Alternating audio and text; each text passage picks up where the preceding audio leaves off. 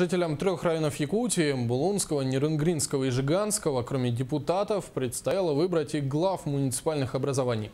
Жиганцы отдали 65% голосов за действующего руководителя Алексея Мандарова.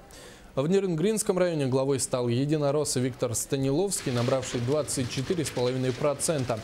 Интересная ситуация сложилась в Булунском районе. Оба кандидата набрали одинаковое количество голосов. Основная борьба у нас развернулась между двумя кандидатами.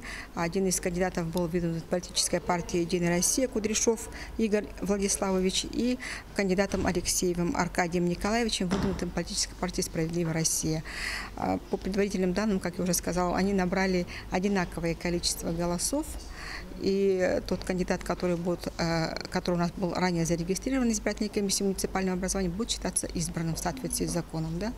Ну, насколько мы знаем, это у нас Кудряшов, кандидат выдвинутый политической партии «Единая Россия». Ну, в Среднеколымском э, районе у нас э, из 15, замещены из 15 мандатов депутатов представительного органа района замещены 13 мандатов.